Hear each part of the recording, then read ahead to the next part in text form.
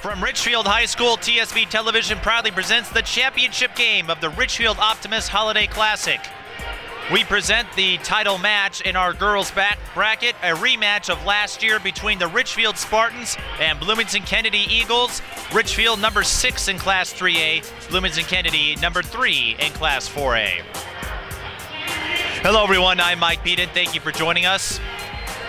Richfield looking to bounce back, and they took a good step in that direction, beating Cambridge Isanti in yesterday's seedings to get here. Bloomington Kennedy took care of Highland Park rather easily.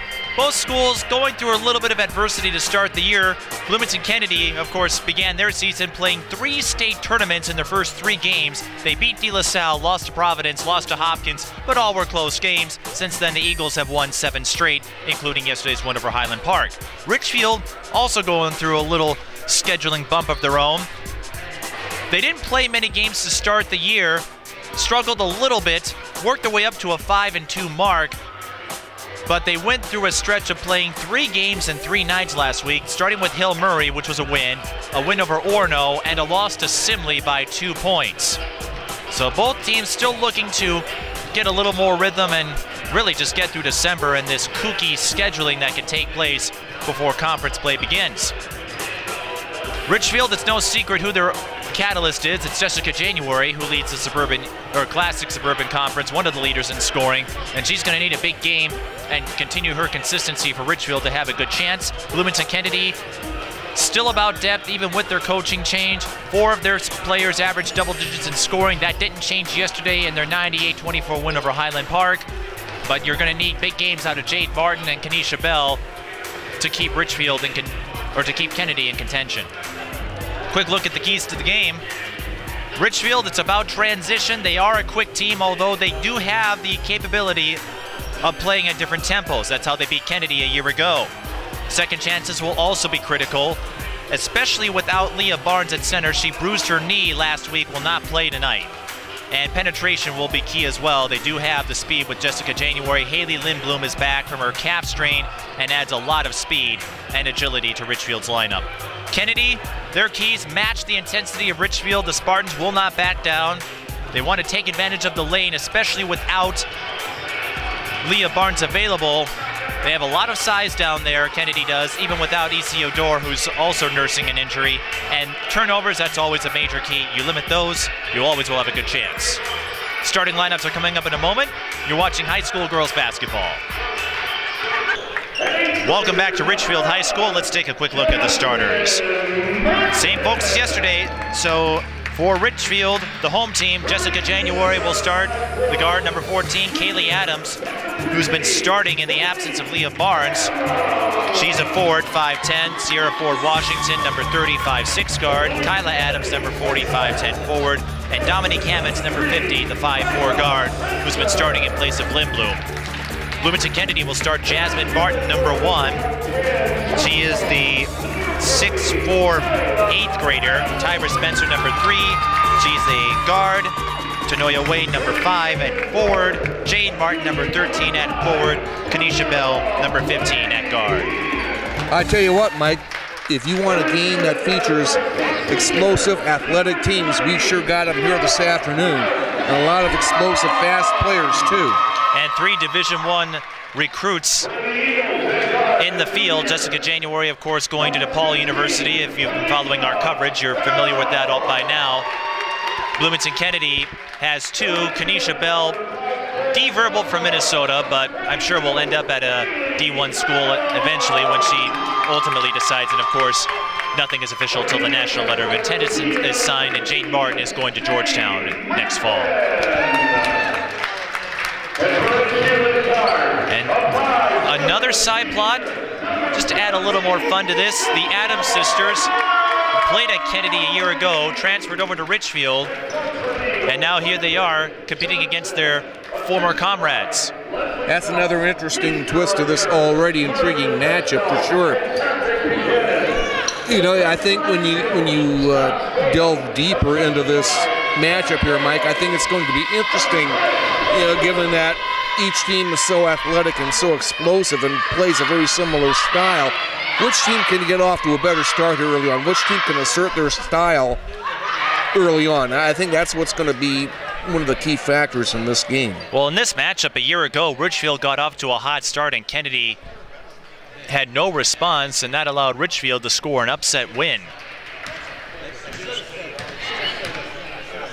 Of course, situation has changed at Kennedy now. The coach has changed. Quinton Johnson yep. is in place, and I talked to him earlier today when the JV game was taking act taking place, and he said the strangest thing he has discovered so far is how many people are already questioning his coaching ability in December, even though Kennedy is seven and two. well, you know, whenever you have a, a, a change with the coaching regime, there's always questions that circulate around the new regime, and, and I think they have to uh, get themselves established and, and proven and that uh, takes a little time. But 7-2 at this juncture, I don't think is uh, anything to stick your head in the oven about. And it's still December, so, as we all know, championships are not decided no. in this month. Kennedy wearing the navy blue, Richfield wearing the white. Richfield showing 2-3 zone and already a steal. Sierra Ford Washington finds January and one. Jessica January picking right where she left off uh, last time we were doing this, Mike. And that was at Hill Murray. And they're another school going through some growing pains right now with their younger staff. Jessica January, no growing pains to worry about here. If you followed our coverage, her story is should be familiar to you by now, but January, of course, a two-time state champion hurdler, in the year she didn't win last spring, she set the record. Jade Martin with a kiss off the glass. Ford Washington. January top of the key.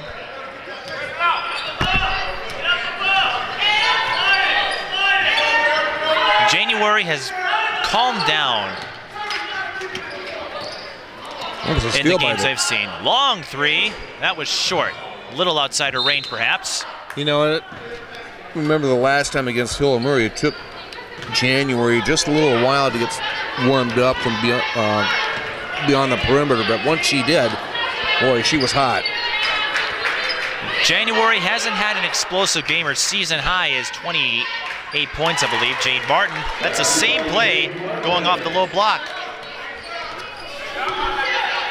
Yes, January's season high is 28, but she has been very consistent. Usually gets about the 20s. Ford Washington barely escapes the backcourt violation, finds Adams, who misses the three-pointer. Kyla Adams uh, couldn't get the rebound, but the dead ball rebound will go to Richfield.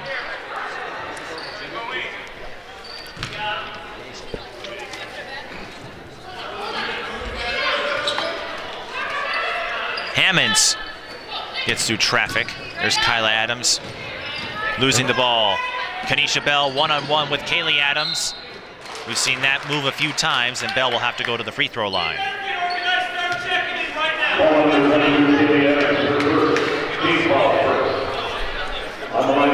Kanisha Bell, the junior, no stranger to these big games.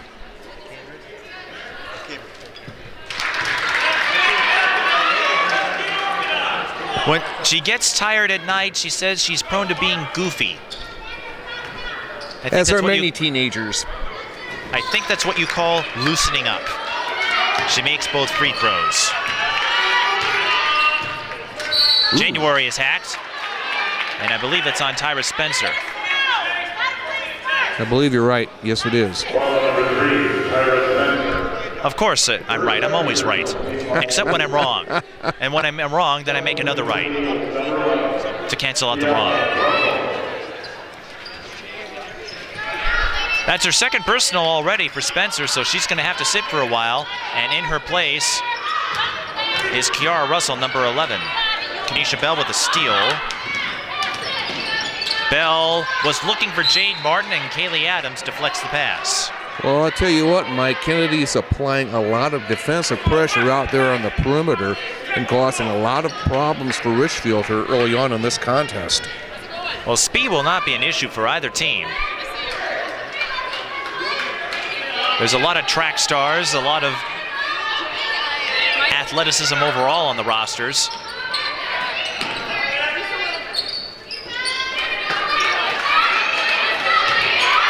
Jade Martin can't hit the fadeaway. Richfield with another try. Kennedy with an early 6-3 lead. But still a ways to go, of course. Hammonds for three. Richfield has not found a rhythm from three-point range all season, but Jessica oh. January with a little athleticism. What a move by Jessica January. She has scored all five of Richfield's points.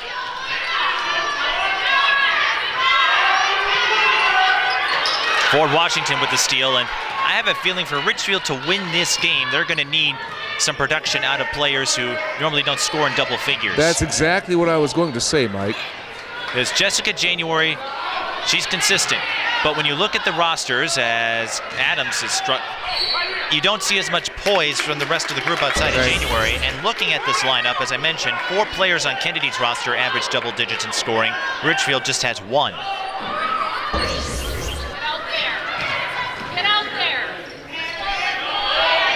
January drawing a double team, escapes herself and draws the foul on Jasmine Martin.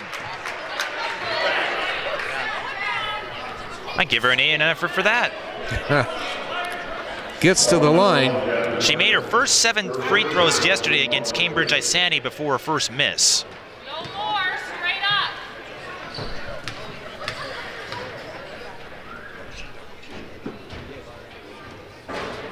And I jinxed her.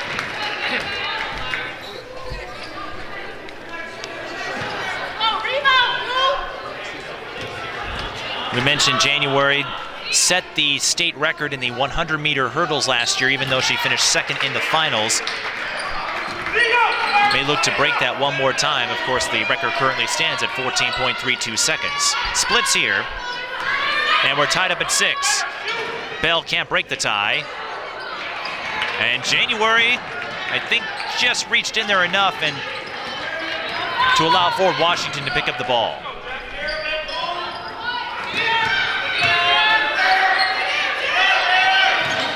Kaylee Adams in trouble, but goes to January. Richfield resetting.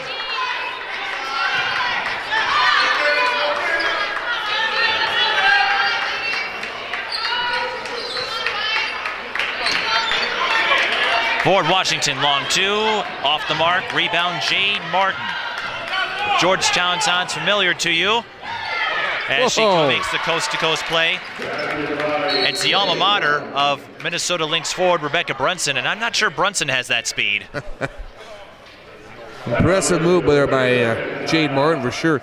You know, one thing that you notice already, Mike, is that Richfield has is having a very tough time establishing anything down low. They're pretty much restricted to perimeter shooting here right now, and let's see what adjustments they can make here offensively that'll give them some opportunities down low, perhaps. Richfield called timeout. Kennedy up 8-6, and right now it's mostly a two-player show. Yeah, Jade Martin for Kennedy and Jessica January for Richfield, and the difference is a pair of free throws by Kanisha Bell. Yeah.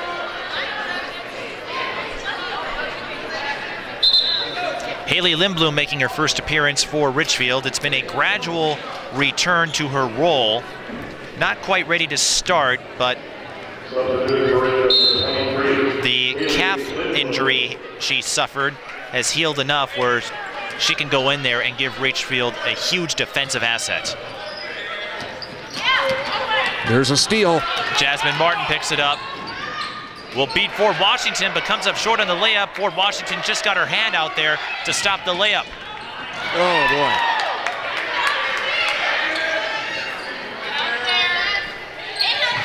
Adams. Kennedy fans wanted to travel. Ford Washington. No. She had a big game last year against this Kennedy group that allowed for the upset. And that was the game where Jessica January didn't have an explosive outing.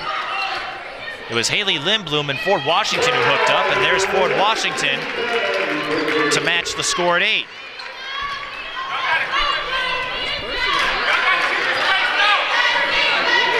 And the former Kennedy head coach finally making his way in. Of course, his daughter still plays for the team.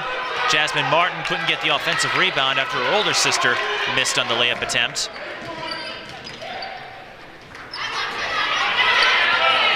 Adams over to January. Long three again. Someone forget to tell these folks that the WNBA line, the three-point line was only extended in the WNBA?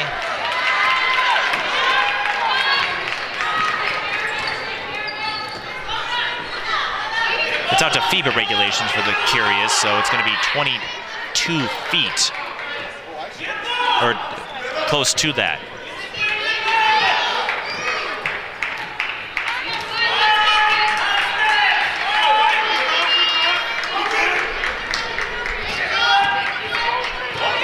Yep, carried the ball. Richfield trying to slow things down.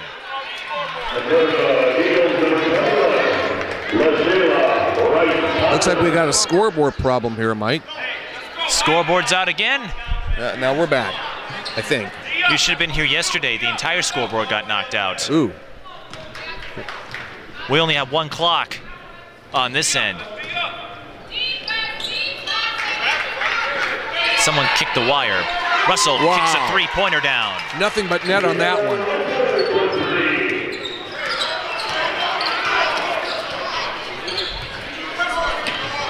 Kennedy up by three, and Richfield still not hitting their three-pointers, mm. and a foul is called against Kennedy. That's going to go against Jade Martin for reaching in. But the two losses Kennedy suffered to De La Salle or to Providence would, and Hopkins, Providence, of course, they can't play, but when I spoke with Quentin Johnson beforehand, he said, yeah, in March, January on the inbound play, Johnson would hopes he would get to play Hopkins or some of those top teams again because he's already confident that it, Kennedy's players are adapting to his system now. And that game, you know, if it wasn't for a few turnovers, a lot of turnovers by Kennedy, they were in position to score an upset win at that time. Yep. Boy. That's going to go yep. against Kanisha Bell. Yep. Reaching in just a little bit. She got caught. That's her first personal. Kennedy with only one foul to give.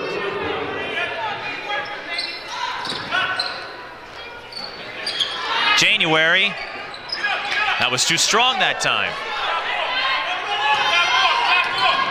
Bell, 15-footer, good. Quick and efficient there, that's for sure. Matching in intensity was a key. Haley Lindblom with the wow. cleanup. What an alert play by Lindblom. She is deceptive like that, of course, not very tall, about 5'4", so she can sneak her way through. Bobby Beaver also in the game for the Spartans. Bell, bullseye. Wow. And she's pumped.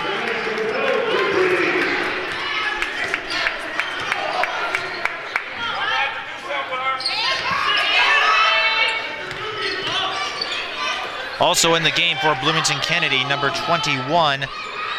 That is the Shayla Wright Ponder, and we've got a shooting foul.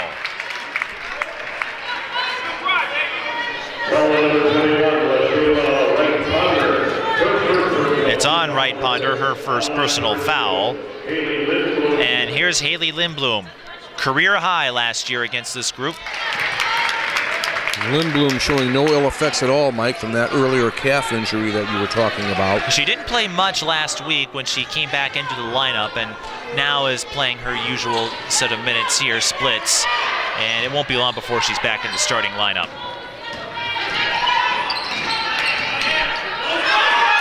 Wade for three. Off the mark. Jade Martin with the rebound. How about a nice jumper there? Looked off balance too. Lindblom, top of the key. What is it with Richfield and three-pointers this season? Well, I tell you, uh, they haven't found the range yet, but if they do, look out. And Jessica January, kickball. One thing that you're noticing, I'm sure already, Mike, is that Kennedy, in those on that last possession, got you know those second and third chances. Richfield is not right now. Jade Martin gets around Beaver and will go to the line. Foul number 40, Kyla Adams, her first personal.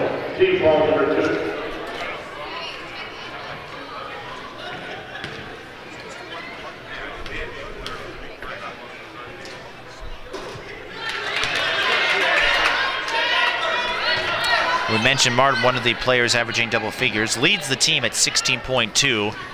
Leader in that conference, Madison Giebert, though, of Eastview. And I know everybody has already penned Hopkins to win another 4A title. It seems that way, but Eastview is putting together a surprising run, if you think about it, and Kennedy nice. still in the mix. I see that Eastview got in a win, uh, a win today, as, uh, as did Edina over Maple Grove.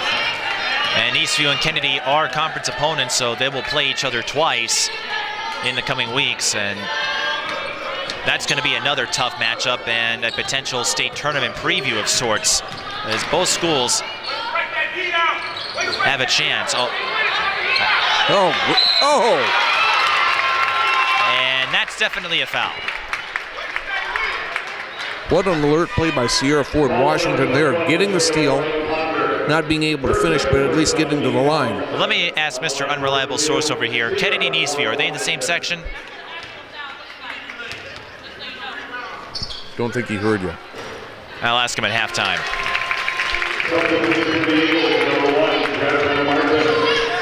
Jasmine Martin back in the lineup for the Eagles.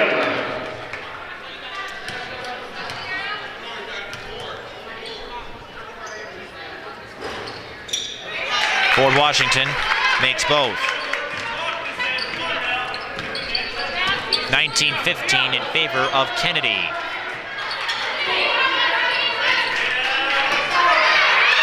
Russell, top of the key, no. January leaps for the rebound.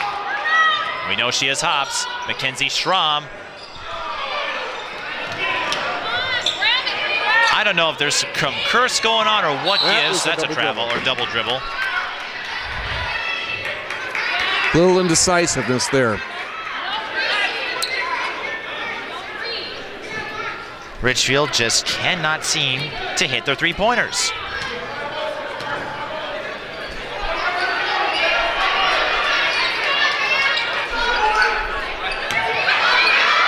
Wade losing the ball, but Richfield commits the foul.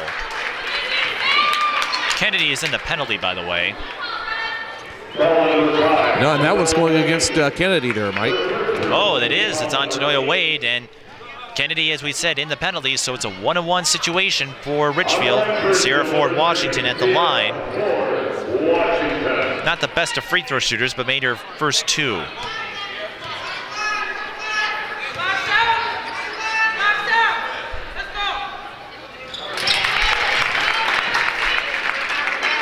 Can't hit three-pointers, this is one way to stay in the game. What has impressed me most about Richfield in these two days so far is how little Leah Barnes' absence has affected them. I mean, last year they could, she was on a family vacation, so Lindblom had to start in her place. Russell trying again and comes up short. Rebound right into the hands of January. Clean block by Wade. And it goes off of January's hands. Wow. But yesterday against Cambridge Isanti, they held their top scorer, Bryn Littlejander, to four points, dropping her three spots in the state scoring race. And that was the difference. And an easy win for the Spartans.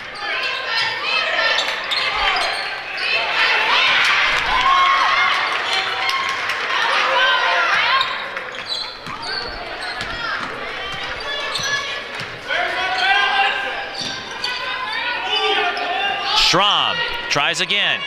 Bullseye. Finally nails one. And Quentin Johnson will call timeout. 20 to 19 in favor of Richfield, but well, you know, looks like I, another close contest between these two is shaping up. Yeah, you know, and what I think is surprising right now is that you know Richfield with that uh, slim one-point lead now they've been getting by without getting into a lot of transition opportunities, which is their forte, Mike.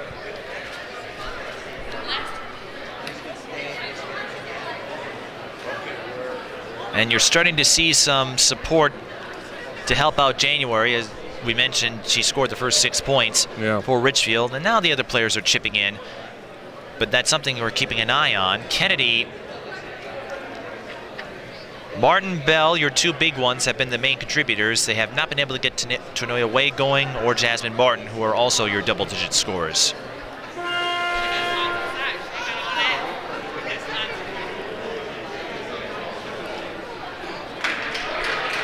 You know, look early on here just a bit ago that Kennedy uh, looked like they might have a slight advantage here, but uh, give Richfield credit, they've hung tough.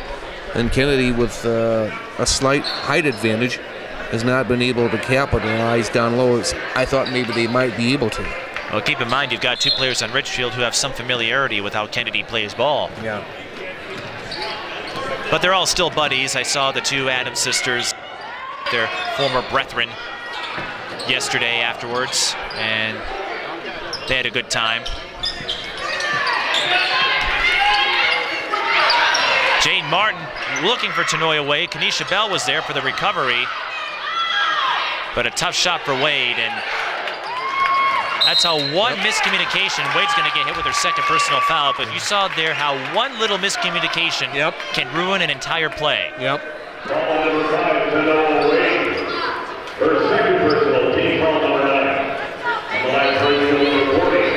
Still a one-on-one situation. Kyla Adams going to the line. Spencer going back in in place of Wade, but Spencer also has two fouls.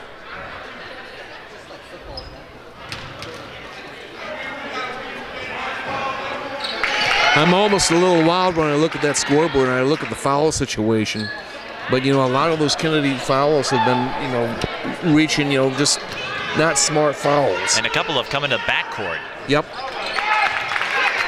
Well, Richfield had to deal with that in the first half of their game with Northfield on the boys' end. They were able to manage their way through, played with a little more discipline in the second half, and Bell is fouled. Richfield had several to give. Give me one. Foul is on Kaylee Adams. That is her second.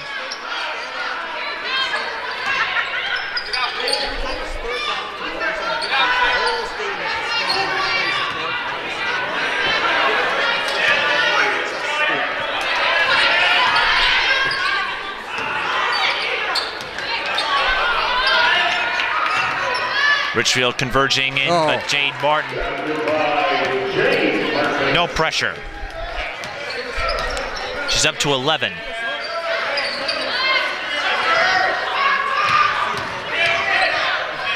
Strom is left alone, but the three is short.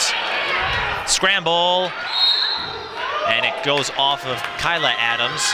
So Kennedy will get the ball. Schramm was hanging out there beyond the perimeter, just begging for the ball, which seemed to be like forever.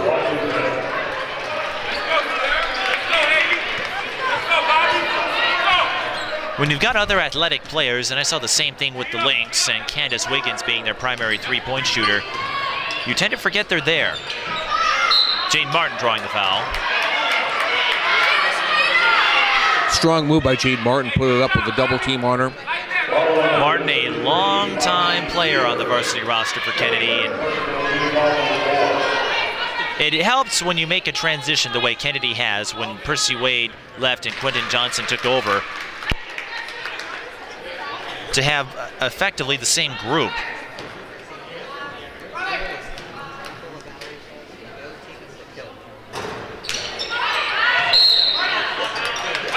Martin splits.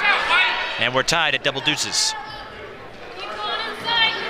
Kanisha Bell almost came up with steal on that one. Couldn't quite get it. Double deuces here on both sides in six minute mark, Mike. That's what I just said. No. Are you paying attention? Sierra Ford Washington is. She's up to eight points.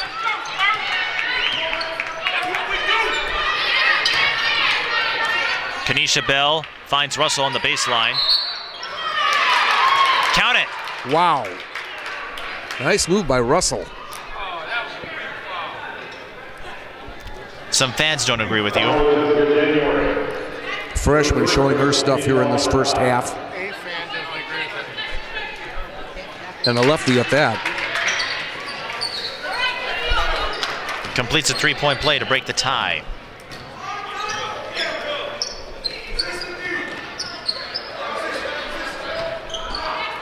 Beaver blocked by Kenisha Bell. Bell also a track star herself.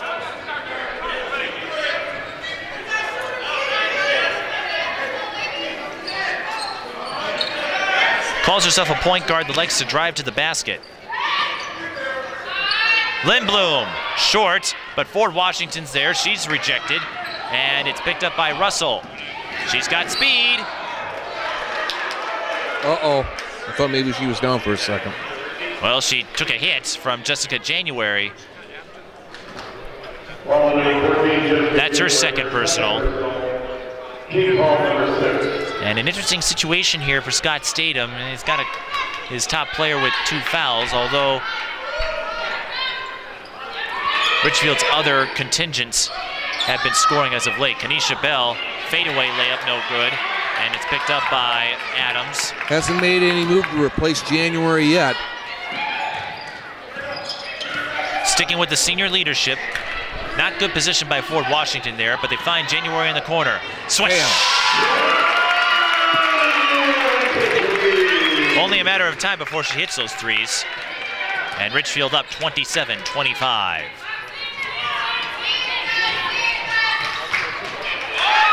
Scramble. No jump ball. Richfield stripped it. Lindblom one-on-one with Bell. Ford Washington, no, and I see that a lot, especially in girls basketball. You get the offensive rebound and you're so quick to get a shot up. Jade Martin scoring again. Really likes that low block move. But you see so many players so eager to get rid of the ball on an offensive rebound. January can't get the bounce. They don't give themselves time to get in position. And you end up with an empty possession out of it. And Bell took an inadvertent shot to the face there on that one. No, let's see. They're going to call it a loose ball foul. And because Richfield is now in the penalty, it will be a one-on-one situation for Kennedy. Scott Statham a little unbelievable on that call. Our cameraman agrees. Looking so for he, some explanation on that. our cameraman thought it was a good call to categorize it as loose ball.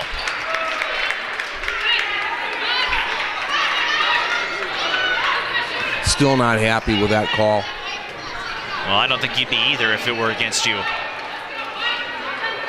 A Bella Jr. and I know a lot of folks maybe overanalyze the situation where she decided to renege her verbal to Minnesota, but like it's nothing's official till you sign that letter of intent. A verbal just says, okay, I'm not open. Foul, and that will send Adams to the free throw line. And that's on Jade Martin. That's her second. Fouls mounting. But it's an aggressive game, and these two teams like to run the ball, so you would expect a few fouls to be called, no matter how the crew would view it.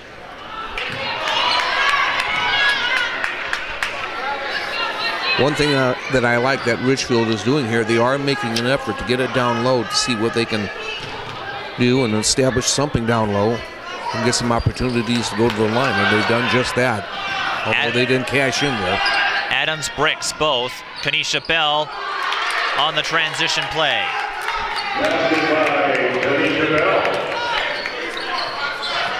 Martin and Bell have been the two anchors for Kennedy's offense. That was deflected off Kennedy. No! Wow. Well, the officials have a better view than I do, but certainly surprised everybody. Yeah, and yours truly included. No, we don't have replays of that, so. Kenisha Bell taking Oh, advantage. What a move by Kenisha Bell. And we said the keys to the game. You've seen Jade Martin do this. Kenisha Bell just demonstrated this goal, taking advantage of the lane, especially without Leah Barnes available.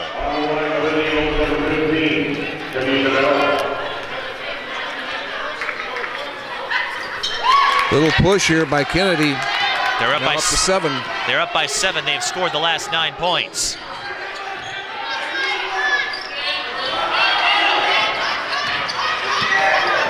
January off balance and try to make something out of nothing, but to no avail. A little frustration now on the part of Richfield. If Kennedy scores here, I would expect a timeout. Russell left alone. Off the heel. Kenisha Bell with an offensive rebound. Once again, taking advantage of the lane.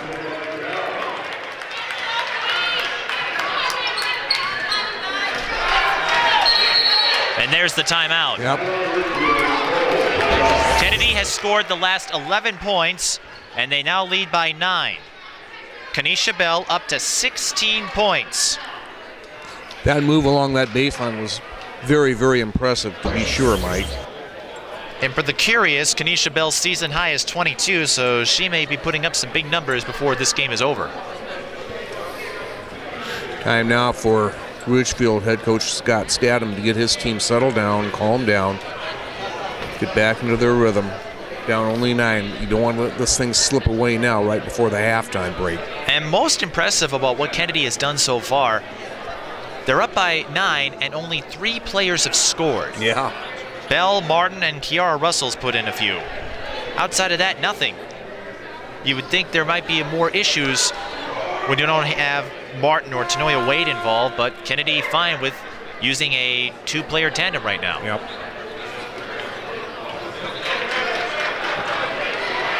You know, it all seemed to start on that one questionable turnover that Richfield had, you know, when it looked like that ball was tipped by Kennedy, but they didn't call it.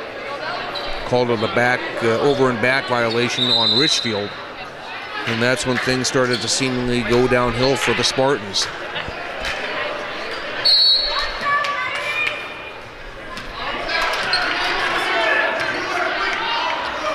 Of course, still an eternity to play, and Richfield. Haley Lindblom Wow. called for the elbow. It's a player controlled foul, so no free throws are awarded, but that only mounts the frustration. Kennedy applying some trapping defense here and is causing a lot of problems for the Spartans here in the last few minutes.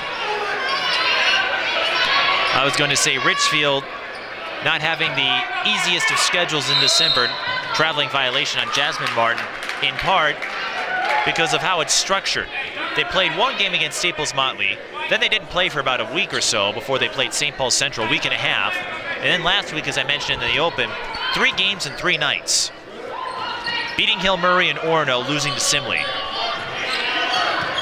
And now you've got a back-to-back here.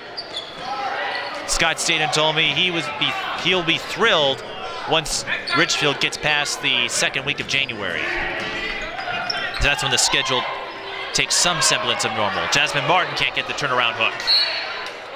And Richfield will get the dead ball rebound.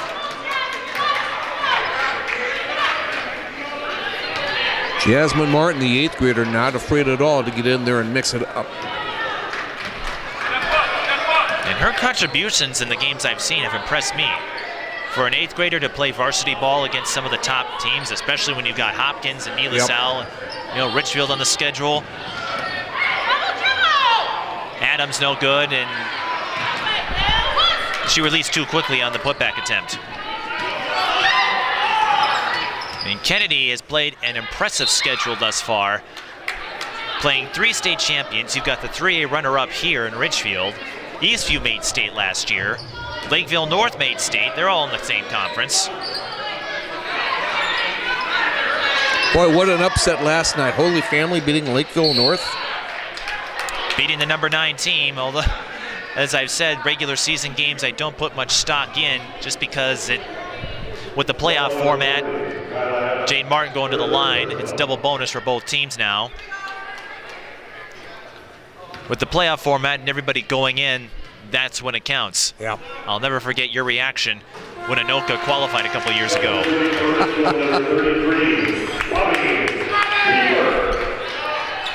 I went through enough last night. Don't get me going on that again. There were a lot of oohs, huh?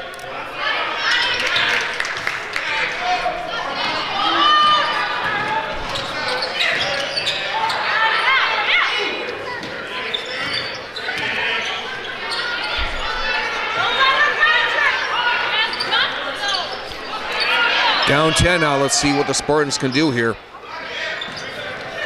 Bobby Beaver trying, but they didn't move the ball quickly enough to get Kennedy off their assignments. The run is now 12. January pokes it away. Weaves through the double team and scores.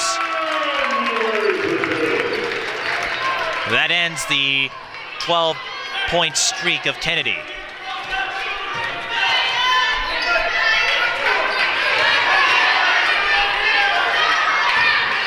Will Kennedy hold for the final shot? I would assume so. That, but not when Kenisha Bell's left open in the lane. And a foul. Who got hit with the elbow? Yep. January got hit, and it should be a loose ball foul, or no, they're going to call it player control. It's on Bell. But that takes Kennedy's shot away. Richfield with one more chance. See, they can free up January here with 4.5 seconds left. And Ford Washington's had a few plays. But you're right, they're going to probably look to go to January. But she loses control of the ball. That will not count. Halftime, Kennedy up 37-29 thanks to a 12-point streak late in the first half. Yeah, and, and again, Mike, a lot of that was due to the excellent defensive pressure that Kennedy was applying on the perimeter with that trapping defense, getting Richfield into some trouble and giving Kennedy some opportunities, which they converted on. We'll pause for a few minutes and review our first half numbers. You're watching the championship match of the Richfield Optimist Holiday Classic here on TSB Television.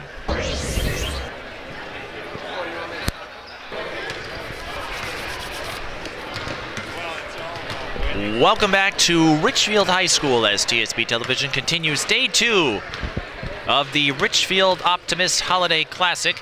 I'm Mike Peden and he's Alex Nagel. And we have the championship game of the girls bracket between Richfield and Bloomington Kennedy. The Eagles are up 37-29 and I haven't seen Richfield take the floor yet. Well, I'm sure Scott Statham and his coaching staff are making some adjustments here as they come up primed for the uh, second half, Mike. You know, it was interesting, you know, Ken, as we said earlier, Kennedy made that little decisive run in the closing minutes of that first half. They were applying a lot of defensive pressure out there in the perimeter with a lot of trapping, which posed a lot of problems for Richfield and some turnovers. And that enabled Kennedy to get on that little run, which gave him the uh, advantage that we have here right now. And Richfield taking the floor now. Richfield's back. Recapping the first half, as we mentioned for Kennedy, just three players scored, but their two anchors, Kenisha Bell and Jade Martin, were significant factors. Bell with 16 points, Martin with 15 points. Richfield, Jessica January leading with 13, Sierra Ford Washington with 8, and Lindblom and Schramm have three apiece, but uh, all that talk about balance and spreading the ball around, getting everyone involved right now, Kennedy not using that strategy, and it's paying off. Yeah. usually works the other, usually goes the other way around, but I'm sure they'll take it. And, and you know, as much as I'm sure Scott Statham would love to have some balanced scoring, you know, I'm sure he won't have any problem problem at all if Jessica January decides to take over this game for the Spartans here in the second half, Mike. Kennedy wearing the navy, Richfield wearing the white, and again, injuries affecting both teams. Kennedy not having EC Odor available, and Richfield won't have Leah Barnes back until next week.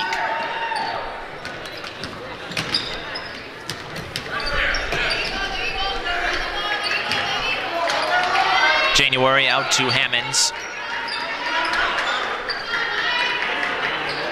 And uh, three-pointer a little long from Kaylee Adams, but Kyla races in for the O-board. Hammonds long two, swish. Big bucket for the Spartans here early on in the second half, Mike. Hammonds prefers the baseline jumpers.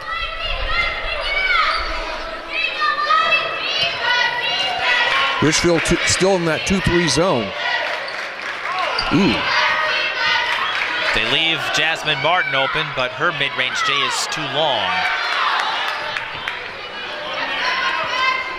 Jade Martin Under a double team, kicks out to Jasmine Martin, and this time she hits the baseline, Jay. I believe those are her first two points this afternoon. Yes.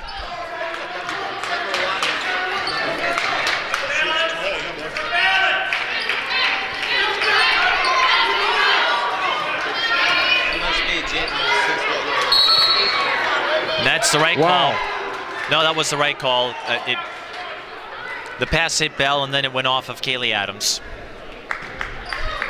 I could tell because the ball made a small change in its trajectory when it made contact with Kaylee. You're always right, Mike.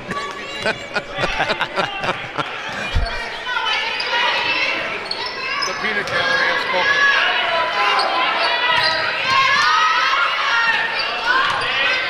Spencer to Tanoia Wade, and she can't get the turnaround fadeaway. Jasmine Martin on the line. She's too strong. Kaylee Adams at the board.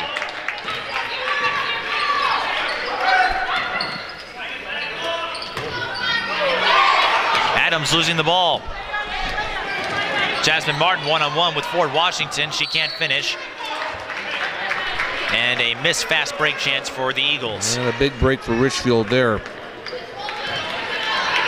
Kennedy had the opportunity to go back up by double digits.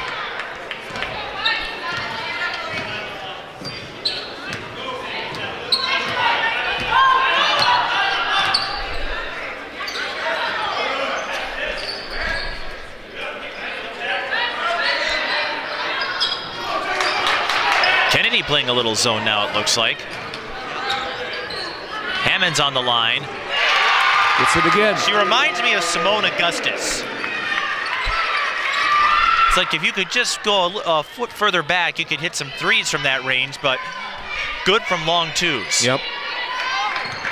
Those 17 footers. Wade can't get the triple.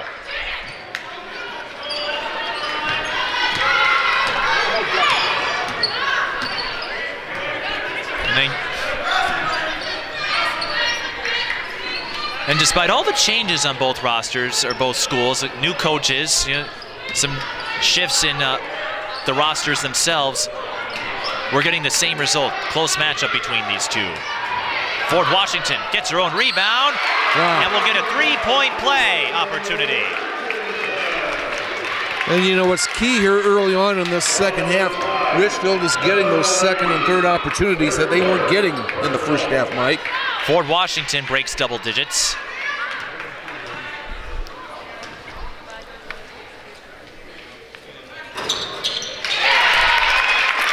She's been very effective from the free throw line tonight.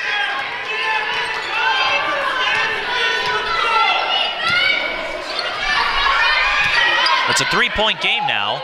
Oh. Bell looking for Jasmine Martin, Wow. and Martin has a chance to counter with her own three-point play. What a pass by Kenisha Bell.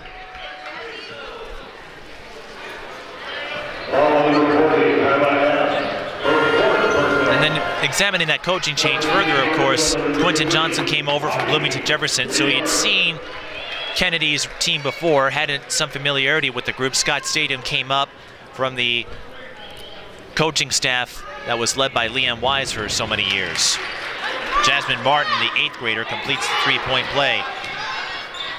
All of a sudden asserting herself here in the second half. I've got a feeling she may be featured in next year's breakdown. Adams, too strong, and Jade Martin with the board. Martin, no foul. January is hit, but gets the rebound. Tried to find Ford Washington. The pass was just a little too strong, and no fast break chance for Richfield. But January will get a three-point play or a three-point shot off, and that goes off the backboard. Ford Washington, scrappy. He's been racing it, racing in for a few boards tonight. She'll fire along too. No.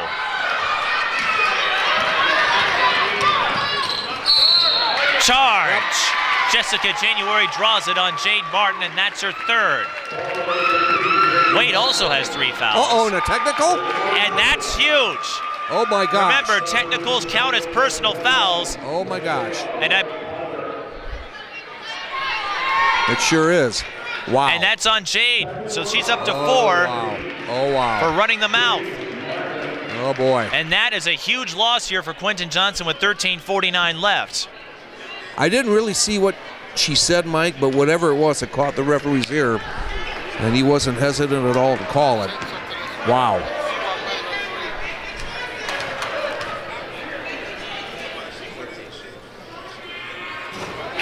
Well, January will shoot a pair here. This happened coincidentally yesterday. It was uh, Jody Liedel, the Cambridge Isanti head coach, who was hit with a technical. But in those situations, a bench technical does not count on the team category. But keep this moment in mind. The with 13:49 13:49 left, Jade Martin hit with a charge and a technical foul.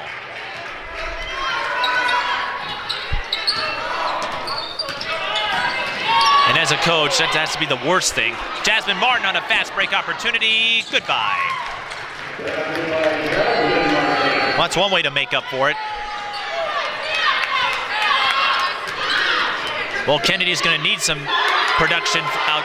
They're going to need other folks to step up now because the the big oh, oh loss. what a play by Jessica January.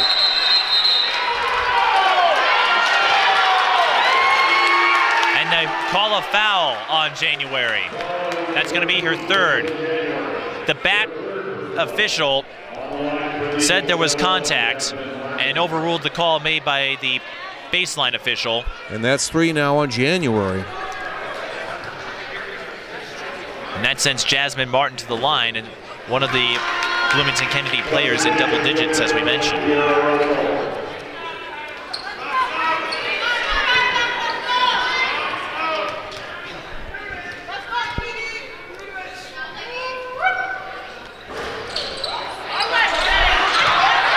Tanoia Wade cleans up the mess.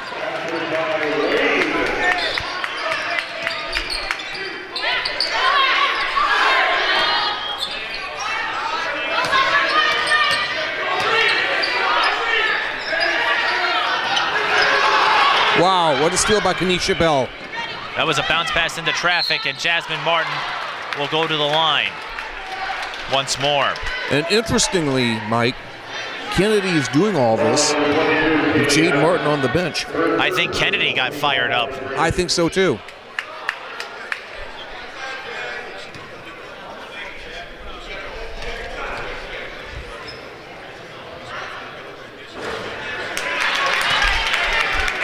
Strange turn of events here for sure in the last few minutes. Well, it wouldn't be fun if everything went according to script. and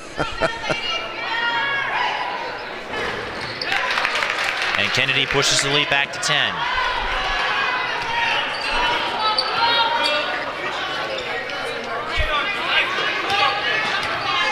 Kennedy looking to extend their winning streak to eight games. Richfield looking to get another upset of sorts, at least in terms of how the rankings are perceived. And trying to hit Bobby Beaver down low, and she let her too much.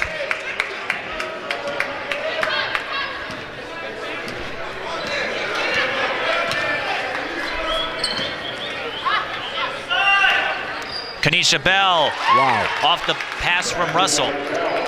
And what I've noticed with Kennedy, like I mentioned, other players now have to step up because Jade Martin won't be able to play until late. Scott Statham will call timeout with 12-17 left.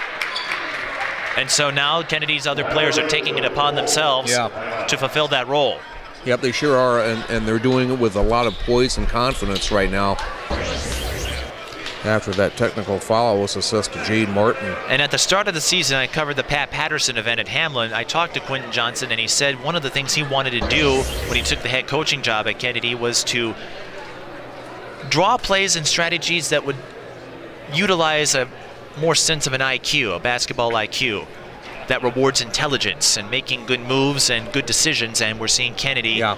not flustered, not frustrated over what happened to Jade Martin. They are just playing their usual ball, and here they are up by 12. Well, you know, and I think we've seen them progress, you know, from when I last saw them play against Hopkins back in November. You know, I think they've taken some huge strides forward. Wouldn't you say, Mike? And the ironic thing is how many folks uh, Quentin Johnson has talked to me about who have said that Kennedy's players weren't smart enough to run its system, among other things. It's amazing how people can sometimes take the high school level Yeah. a little too seriously. Yeah. I remember when De La Salle, before they won their back-to-back state titles, they finished third that first year Faith Johnson Patterson took over, and De La Salle fans were upset about that, even though they finished 31 and one. And there certainly weren't too many somber faces here at Richfield, even though they got dominated by De La Salle in that state championship a year ago. They still talk about how fun it was to compete in the state tournament. Another Richfield turnover down low. And Kennedy wants to get those feelings again. They have not qualified to a state tournament since 2006. The last year Jenna Smith was on the roster. A lot of good players on those teams. Well, you talked about it as I was there for that uh, Kennedy Hopkins game. That was a bit of a rivalry between the two. That was both in 05 and 06. And a, lot, and a lot of history between the two schools. Speaking of history, we've got a foul on Richfield. Bloomington Kennedy, home to a few alumni, including uh, Steve Rushin. If you've heard of his name, I don't believe so. former writer for Sports Illustrated, and his wife, none other than Rebecca Lobo, Oh, wow. went to Bloomington Kennedy.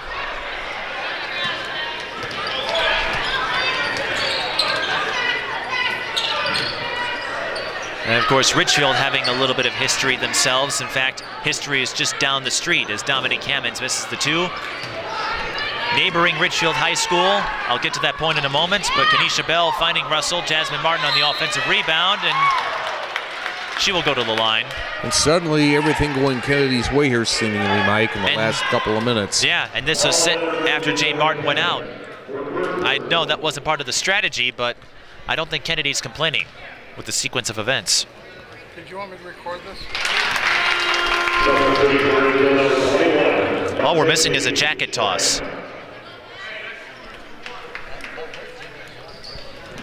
me know when to start. Are you still trying to figure out what that means? No, I was just saying, uh, looks like uh, Mackenzie Schramm just checked back in for the Spartans. She did. Martin splits. The Shayla Wright Ponder, no. Gets it on the second try. And the lead is extended to 15. And another steal. Wow. Lindblom poked away by Russell, but she comes back on the defensive end to swat away another fast break. Richfield, oh, go I ahead. was just a great hustle there by Lindblom, preventing the easy two.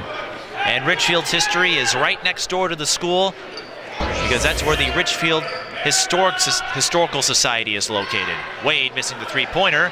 Ponder there, can't get it, and she's going to the line. Richfield playing out of sorts right now, and Jessica January is going to go back in.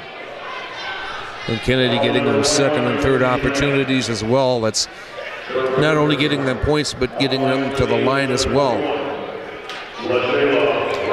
Richfield now out of fouls to give.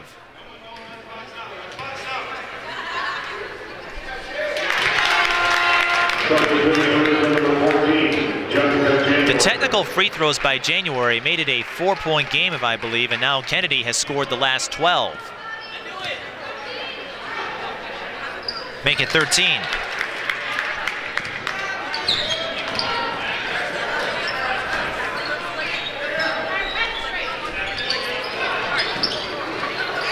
And they have a Another chance turnover. to extend it. That pass was too strong, and they will extend it.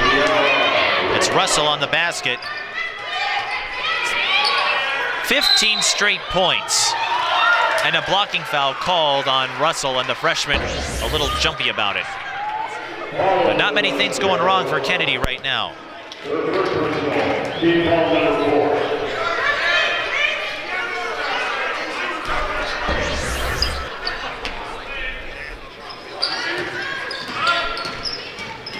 January draws the foul.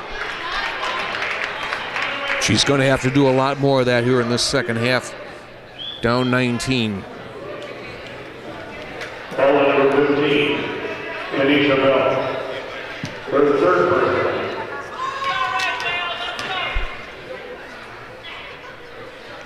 Bell picked up her third personal foul.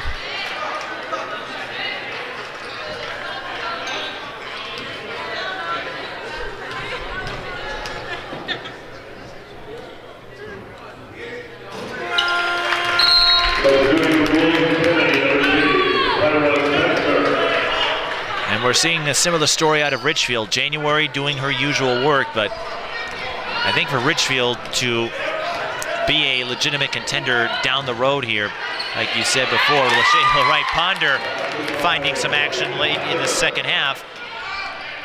Lindblom pulls up and short. And that's been one of Richfield's woes this season, long distance shooting.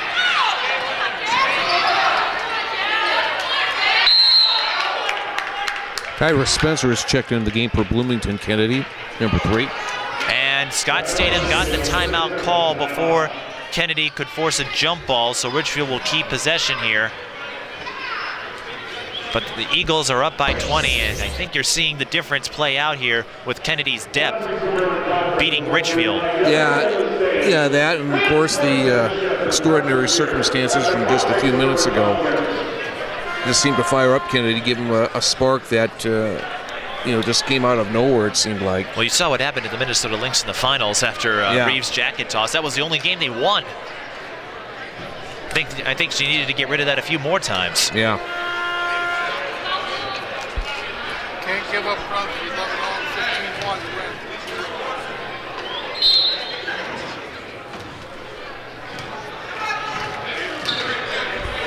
15-1 now. Richfield did break that streak of 15 straight points from Kennedy, or 17, or something like that. Ford Washington will go to the line.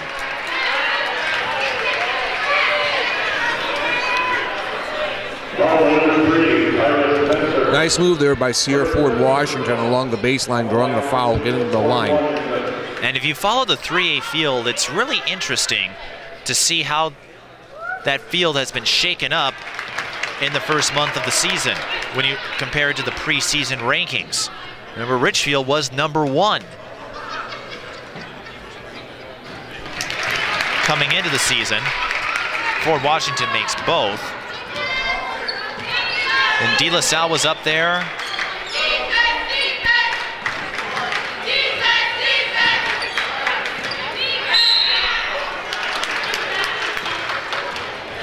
What a second half so far by Jasmine Martin, the eighth grader.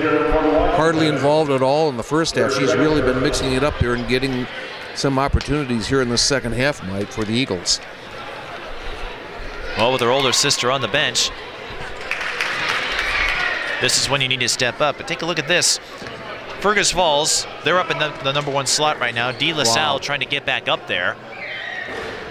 But they had a couple of uh, losses to Kennedy and to Eastview to start their season. De La Salle's always started slow. Richfield, some polls had them at number one. Now they're down to number six.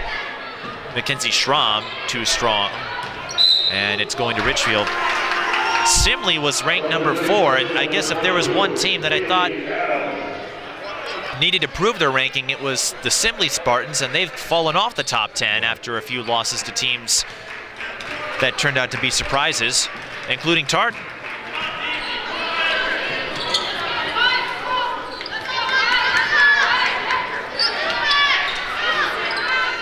Russell short on the three-pointer, January with the rebound. And Chaska's still been in the mix, and there's Wow. Adams with a Nice. left-handed layup. Kyla Adams to get on the board. But Richfield's going to need a little more down 18 here. Jessica January with four fouls. And both schools out of fouls to give. Wade was hit on the attempt, and that will send her to the line. Wade, the daughter of Percy Wade, the former head coach who did win a state title for Bloomington Kennedy back in 2005. Well, at 8:34 here, down 18. This is where, if you're Richfield, you've got to find a way to get some stops. You can't be satisfied with just trading baskets with Bloomington Kennedy right now, Mike. And you have to be efficient with your possessions as well.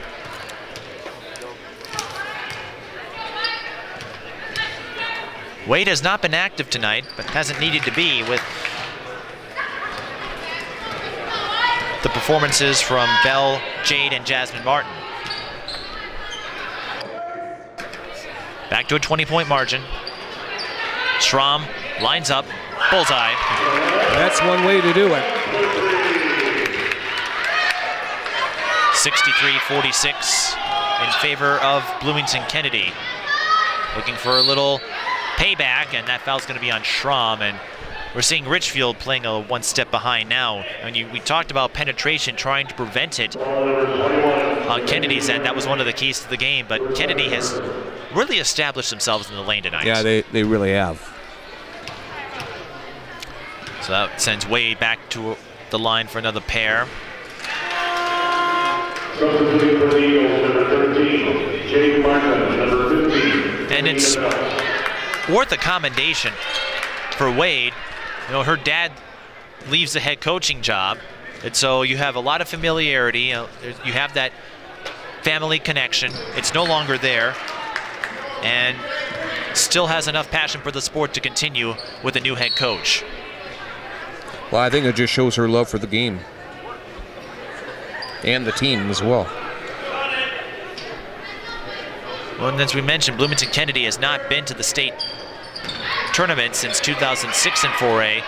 They've had some good years, but they would suffer some upset losses. That ball should be going to Kennedy, and it will. Suffered some upset losses in the sections that took them out of the running and allowed other teams to get in. But this might be the year they finally get back. And if they do, I still believe either Kennedy or Eastview would have the best chance at taking down Hopkins. Conventional wisdom would definitely suggest that. Another easy inside basket. Tanoia Wade picking up the pieces. Margin up to 21.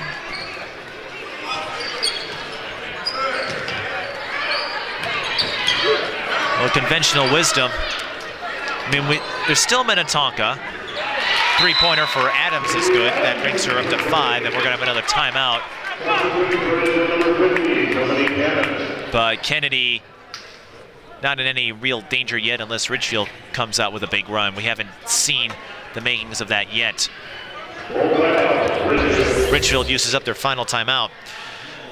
Minnetonka hasn't played Hopkins yet. They will when they get to late conference play. Of course, there are Yep. only five teams in that conference, so the conference season very short. But Central played them last night and got destroyed, Yeah. and we're going to be on Facebook. That's Abe Booker taking some photos and having a little fun with us.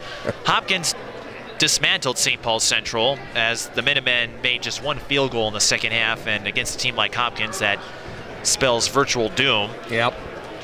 Eastview hasn't played them, but Madison Giebert has evolved significantly as a point guard for that team and has really revived that program. I like and, that. and they I were like- semifinal semifinalists last year, so we're, You- you not know- to say Eastview had a down year, just Madison Giebert made them that much better. And you know, I, I really like that Eastview team. They hustle, they scratch, and they claw, and they fight, and they never give up.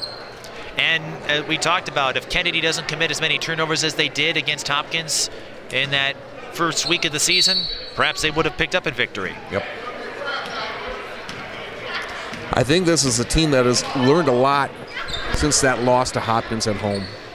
And they've done it in a relatively short time frame too as well, Mike. Well, they're the only school that can claim that they played three defending state champions for their first three games of the season. And even that Providence loss, as Tanoia Wade hits the long jumper to go to double digits, they learned a few things from that too. Yep. That was an overtime defeat and where the Eagles did not score a single point in overtime and no field goals were scored at all. It all came from the free throw line. Ford Washington, floater short.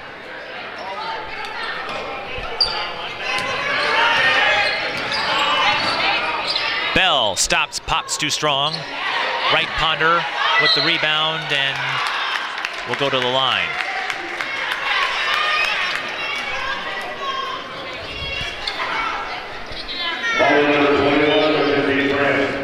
LaShayla Wright Ponder, a freshman forward.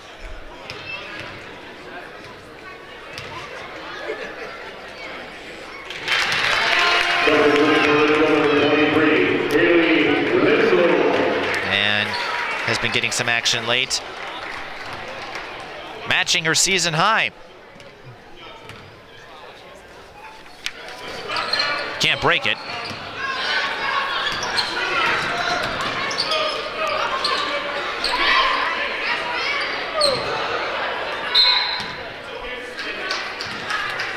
Lindblom tries to save it, couldn't do it.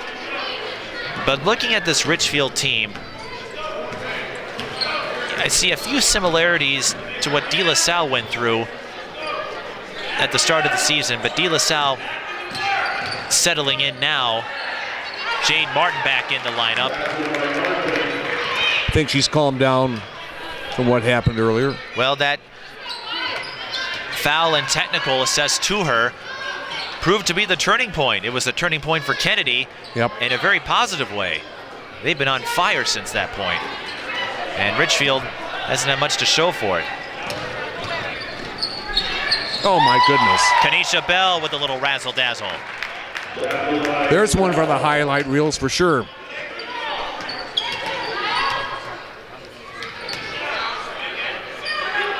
So Kennedy's win streak will continue, and there's a microcosm of Richfield. Throwing it to your head coach is not going to produce very many good You results. knew our camera person was going to pounce on that the first time that happened. He's he's made that comment more than once. That's his cardinal rule. Never pass to your coach. Now that is a good passing target. Jade Martin. She'll usually finish and did just there. She's up to 19. We might, well, uh, still need a few more baskets. We just might go to the mercy rule before long. Uh, we're running out of time here, but Well, Jessica January trying to do a lot here. well, and it's frustrating and to finish up that point on Richfield. I'd say this team and De La Salle, the two finalists last year, went through the same test. Both teams having talent, but losing some solid role players that you wouldn't value until they left. With De La Salle, it was Maya Lloyd and Mariah Adonane. Taylor Tony now stepping thing, stepping it up for the Islanders, and Natalie Yule has had a couple of good games. Richfield hasn't found the secondary option yet. You had Hannah Wise and Brianne Guyton. Wise was your sharpshooter. Guyton was small but scrappy in the post. And Richfield hasn't found the same chemistry yet with this current crop. And you know, I think that's a key word yet. But if Richfield's going to get back to state and do some damage there, because they've got a tough section, LaShayla Wright Ponder with another layup, and they've got Benilde St. Margaret's in their section. Simley's going to be a tough foe, perhaps. I mean, they're not consistent, but when they're on fire, they can be dangerous.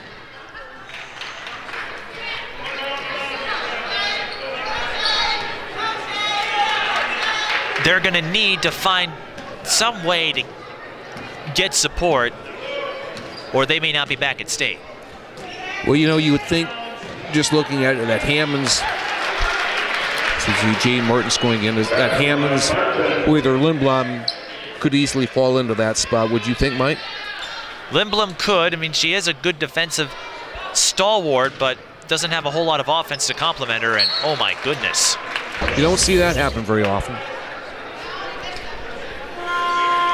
Richfield's got to be frustrated right now. Well, I think you're, you're seeing a lot of frustration set in. And when you when you lose easy passes like that, that's just general frustration. Oh, Richfield will fall to five and three. Kennedy will improve their winning streak to eight and move to eight and two on the year.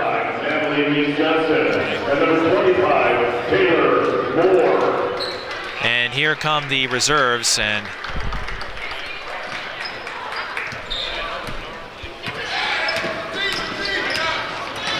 Richfield perhaps suffering their toughest loss of the season. Lindblom trying to put it over over a mountain, and she does draw the foul though. Foul number 21, LaShayla Wright Ponder. It doesn't help in Richfield's case that Barnes can't play, but and of course she's still growing into her body. She's a year younger than her class would indicate. Lindblom, as we mentioned before, the homecoming queen last fall for Richfield. And uh, Both she and January have a significant Twitter following. In fact, I believe they both have more followers than I do. Certainly more than I do. Well, I'm at 500. We had this discussion. I'm at 591. Wade can add three more, but there's Tyra Spencer. Good effort, but she stepped on the out of bounds line. Alex, is that 592 more than you? I think so.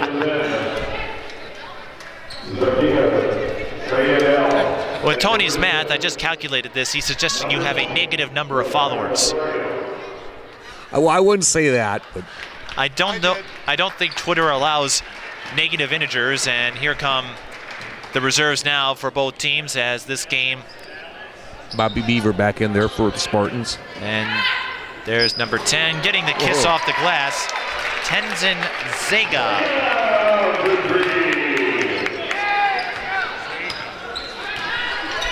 Richfield could have used that a few minutes ago. But the 13:49 mark, the score was 38 to 42 after the January free throws. Yep. 38 44. 38-44 was some. It was somewhere along those lines, but Well, I mean, then- it was it was rel- you know they were within striking distance. They were within and, and you would have to figure that if they were going to make their move and and tie it back up, or perhaps get their nose out in front again, that was going to be the point to do it, And and, Ken- they, they weren't able to do it. Kennedy scored 17 points unanswered. And they respond with a triple from Zakira El Said. There's a name that even I would be afraid to try and pronounce. Tony's favorite was from Osseo with the Okonkwo sisters. Oh boy. I knew that subject was going to come up. I never have trouble with last names. Just first names, right? Just the names I'm supposed to use.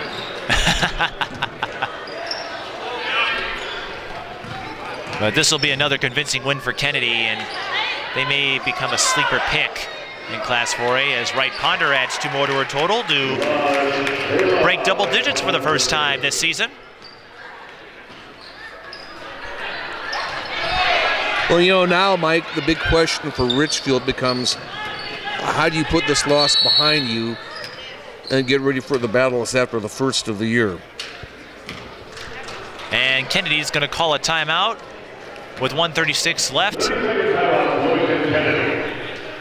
Perhaps More for substitute. try to get well, so they can get the uh, starters out of there. And Abe Booker's already leaving the building. Yep.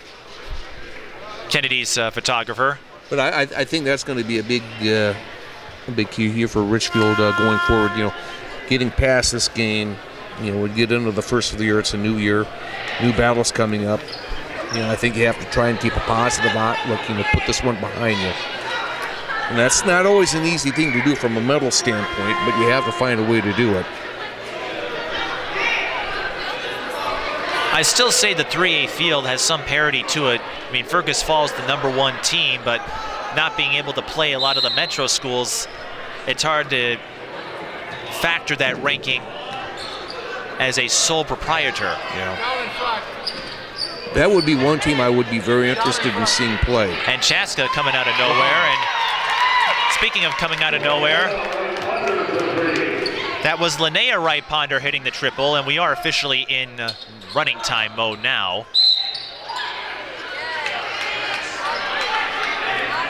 Seems like when everything is going right, everything will fall, and sure is for Kennedy right now. Taylor Moore at the line as we're in stat padding time. And, Kennedy not far off their offensive pace from yesterday. It was a 98 to 24 win over Highland Park and a game that you, couldn't do much about. Everybody knew Highland was on a down note, but Kennedy was still aggressive and they didn't back off, which is always good to see. But against a team with a higher caliber of Richfield, this is another step to convince not just South Suburban foes, but again, the folks that Kennedy lost to early in the season. They're not backing down. Anathea Duke, oh, she, she wowed the bench yesterday, hit a couple of threes, and was the subject of many celebrations. They, they loved it when she got on the scoreboard for her first varsity points.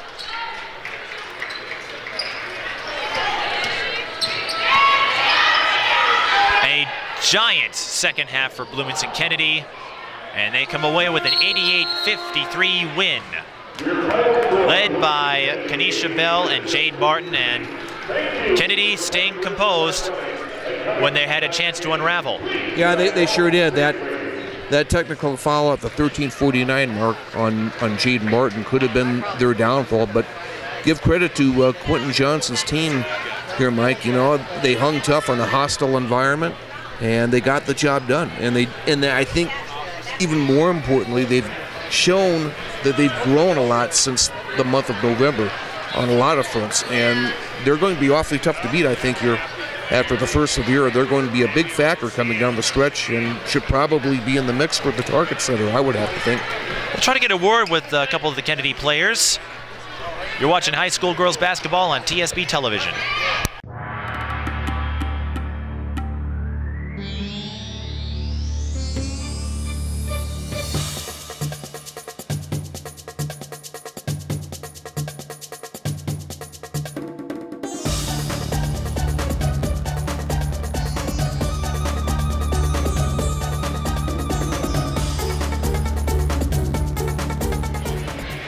Mike Peden here with Jade Martin and Kenisha Bell, Kennedy's pair of 20-point scores tonight. And uh, Jade, a big moment for Kennedy, 13:49. You had to sit out after getting two fouls in a row, and then Kennedy just stepped up all around. So how did uh, how do you think the team stayed composed at that point? Um, well, we have a good team with me, and we have a good team without me because we have uh, we're pretty much deep. So if uh, ref gets us down, then we we're still fine. Kennedy's depth really showed tonight as they uh, pulled away, especially after that point uh, when Jasmine Martin put up a lot of numbers and then Tanoia Wade uh, put in a few baskets late. Yeah. What, what, is, what was the question? Well, just would you elaborate on that? Just how the other players stepped up in your absence? Oh, um, I mean, when one player is out, a different player has to step up, and tonight it was Kenisha, Jazz, and Tanoa. So. You've won eight games in a row now after uh, losing a pair to Providence and Hopkins. How do you think Kennedy is um, bonded uh, with the coaching change and just with this roster in general uh, through this first month of the season? I mean, it was like a, it was a tough coaching change. I mean, we like we weren't we like didn't accept it at first, but like now we're like cool with him or whatever, and we're like getting in a flow. And we're young, but like our young girls are really good, and we rely on them, so they have to be. And Kenisha, I'm sure you have a few uh, notes to say on the coaching change, because that was one of the big things. Quentin Johnson coming in, replacing Percy Wade, and he talked about kind of that process. So, how did you first respond to him, and how do you uh, take his approach now? At first, I was just wanting to get to know him, see how he played. I heard that he was like a good coach and stuff, but we was really so like attached to our old coaches. We was just like judging how he was going to like coach us. So now that we get like used to him, is is we have better communication with him and play as a team more like he taught us to. What have you all learned in that first month? Is losing to Providence and, Ken, and, and Hopkins, maybe folks are thinking what's going on, and you know here you are winning eight in a row, and uh, perhaps silencing a few of those critics, for lack of a better term. I think the game against Providence, we was just like we really didn't come to play. We was really basically wanting to like play Salle. We was just into that game, but we thought we was like downgrading the team, thinking that we just gonna come in and just get get them off the court. But at the end, the end of the day, they end up beating us, and we had tried to get past that by coming, playing how we play as a team, working hard to win these other games. I know you folks are big picture thinkers, thinking about March, but beating Richfield the way you did after getting upset by this group a year ago is how does that symbolize Kennedy's progression at this point? That we play more as a team. We play like everybody. When one ain't stepping up, somebody else is. We got. We try to get everybody heads in the game, like keep them up when they down. Basically, try to tell like get them to play better. And of the two of you, who had more razzle dazzle moves tonight? Because I know you had some fancy passes and you had some uh, nice moves down in the low post. Kenisha. She's she's more the show off than I am. I'm more of a basic player. Your assessment? Uh, I think Go ahead, take it. I, I guess I can take it. Only on passing though. I just be trying to get everybody a chance to score. Well, you did talk about being a point guard that likes to take it to the basket and do some things in that uh, breakdown book, and so you, you were just showing that, you know, best backing up your words, right? Yeah, that I got to. I, that's the that's how we play as a team. Everybody used to my passes and stuff, so it's easier for everybody to catch them. Everybody to know how we like play as a team when we play. Okay, last game of the calendar year. So, is there anyone you want to say hi to, and there any New Year's wishes you want to get on camera? You, Jade. Um, shout out to my mom, my dad, my family. What about you, Kenisha? Yeah, I want to shout out my mom, dad, and my family too, friends, basketball players. Dwyane Wade, love you. LeBron, love you. If they're watching, hopefully they will be impressed by that. But uh, congratulations, thanks for speaking with us, and uh, good luck as uh, you get ready to take on your South Suburban brethren. Thank you. That was Kenisha Bell and Jade Martin. Bloomington Kennedy winning the Richfield Optimist Holiday Classic Tournament Championship. For everyone here at TSB Television, I'm Mike Peden. Thank you for watching, and have a wonderful 2013.